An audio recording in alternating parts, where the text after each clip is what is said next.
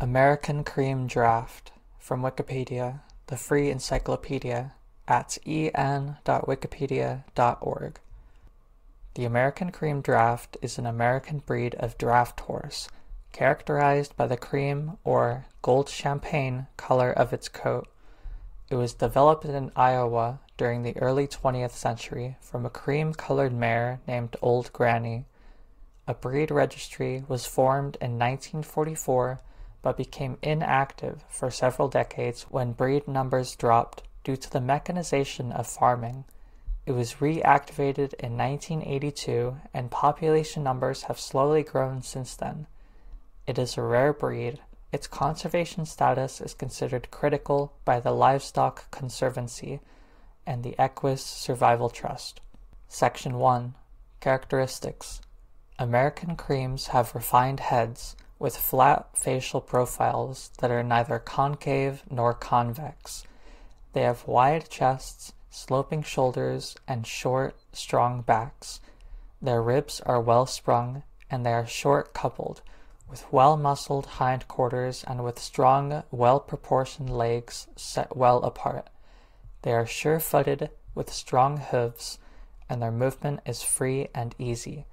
According to enthusiasts, the breed has a calm, willing temperament, particularly suited for owners who are new to handling draft horses.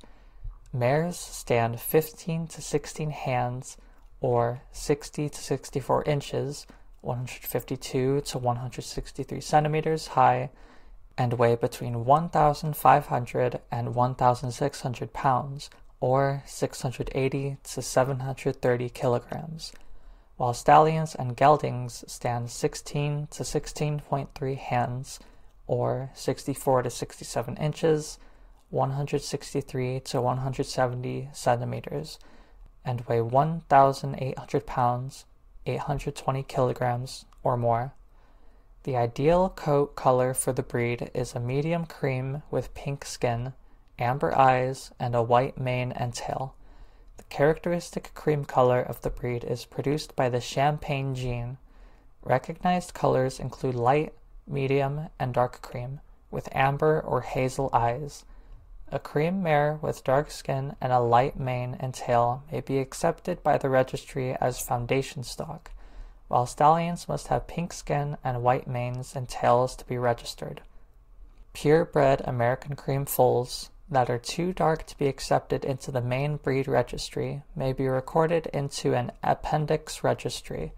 The appendix will also accept half-bred cream draft horses crossed with other draft bloodlines if they meet certain requirements, and the registry provides an upgrade system that uses appendix horses to strengthen genes, increase breed numbers, and allow more diversified bloodlines.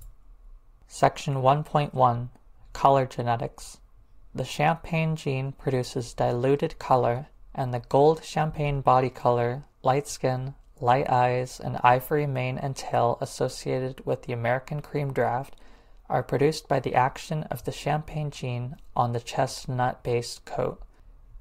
In the adult horse, the skin is pink with abundant dark freckles or mottling, and the eyes are hazel or amber.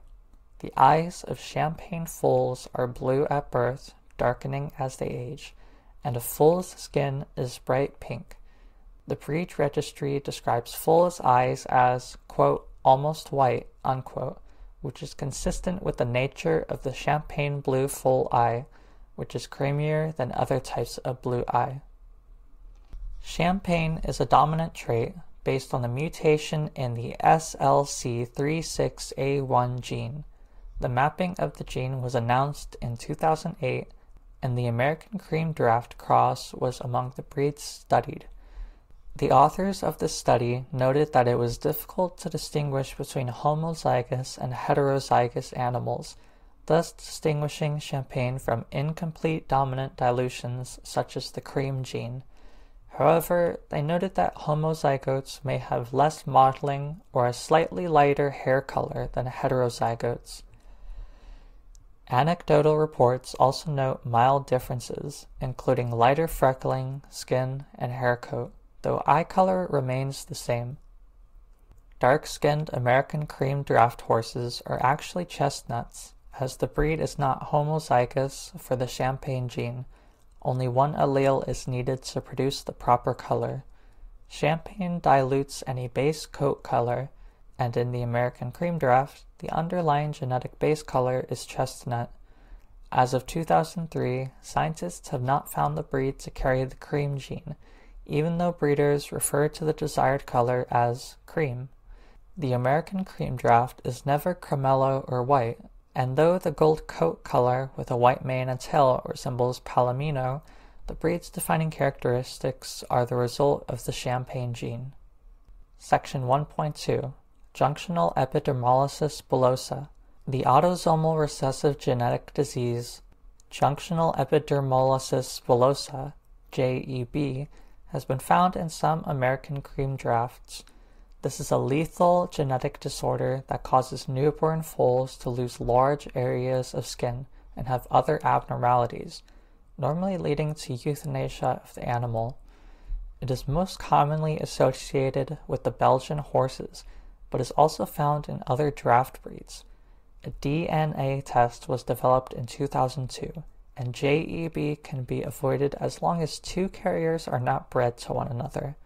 The American Cream Registry states that it has, quote, been proactive in testing its registered animals since JEB was discovered, unquote. Section 2 Breed History The American Cream Draft descends from a foundation mare named Old Granny. She was probably foaled between 1900 and 1905 and was first noticed at an auction in Story County, Iowa in 1911 and purchased by Harry Lakin, a well-known stock dealer.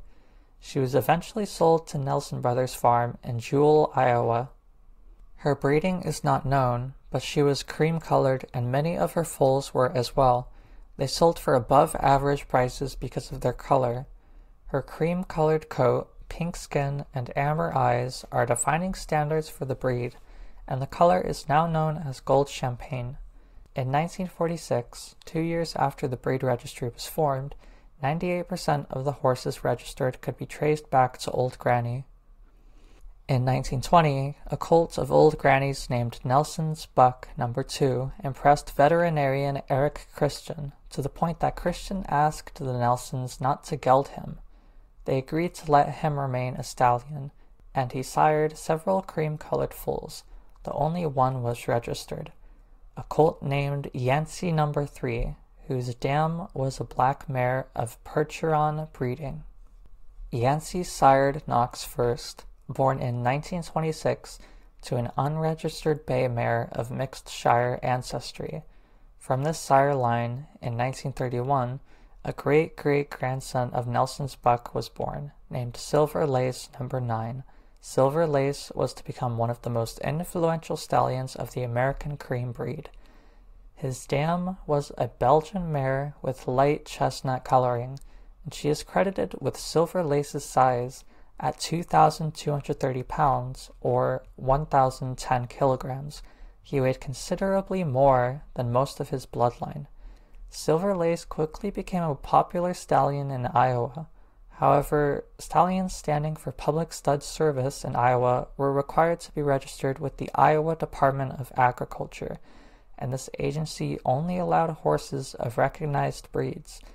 As Silver Lace was not registered with any breed registry, his owners created a breeding syndicate, and mare owners who bought shares in the Silver Lace Horse Company could breed their mares to him. However, his main breeding career coincided with the economic struggles of the Great Depression, and Silver Lace was at one point hidden in a neighbor's barn to prevent his sale at auction. Another significant foundation stallion was Ead's Captain, whose bloodlines appear in about one-third of all American cream drafts. Around 1935, despite the Depression, a few breeders started to line breed and inbreed cream-colored horses to fix their color and type. In particular, C.T. Rierson began buying cream-colored mares sired by Silver Lace and developing the American cream breed in earnest. In 1944, a breed association, the American Cream Association was formed by 20 owners and breeders and granted a corporate charter in the state of Iowa. In 1950, the breed was finally recognized by the Iowa Department of Agriculture based on the 1948 recommendation by the National Stallion Enrollment Board. The mechanization of farming in the mid 20th century led to a decrease in the overall draft horse population, and with Rierson's death in 1957, American cream draft numbers began to decline. By the late 1950s, there were only 200 living American creams registered, owned by only 41 breeders. The registry became inactive until 1982, when three families who had retained their herds reactivated and reorganized the registry. In 1994, the organization officially changed its name to the American Cream Draft Horse Association, or ACDHA. Section 2.1 1990s to the present. In 1982, owners began blood typing their horses, and by 1990, genetic testing found that, quote, compared with other draft breeds and based upon gene marker data, the creams form a distinct group within the draft horses. Unquote. The American cream draft was found to have a genetic relationship with the Belgian breed that was no closer than the ones it had with the Percheron, Suffolk, Punch, and Haflinger breeds. Registry records dating to the early 20th century show no bloodlines other than draft breeding. As of 2000, there were 222 registered horses, a number that increased to 350 as of 2004. Of these, 40 were tracking horses, either purebred American creams that did not meet color requirements or crossbred horses that mix American cream with other draft blood, but still meet the physical requirements for the registry. These tracking horses are allowed by certain regulations to be used as breeding stock with the resulting foals able to be registered as purebred American creams. Around 30 new horses are registered each year. The Livestock Conservancy considers the breed to be at critical status, meaning that the estimated global population of the breed is less than 2,000, and there are less than 200 registrations annually in the U.S. The Equus Survival Trust also considers the population to be critical, meaning that there are between 100 and 300 active adult breeding mares in existence today. To help replenish numbers, the ACDHA has developed regulations to permit foals to be registered when produced via methods such as artificial insemination and embryo transfer. Careful use of the appendix registry also allows numbers to increase. The American creams that live in colonial Williamsburg have been called, quote, the most famous of all American cream draft horses, unquote. In the village they are used for wagon and carriage rides, and as of 2006, there is a breeding program run by Colonial Williamsburg that is working to increase breed numbers. This sound file and all text in the article are licensed under the Creative Commons Attribution Sharealike 3.0 Unported license, available at creativecommons.org slash licenses slash by hyphen SA slash 3.0.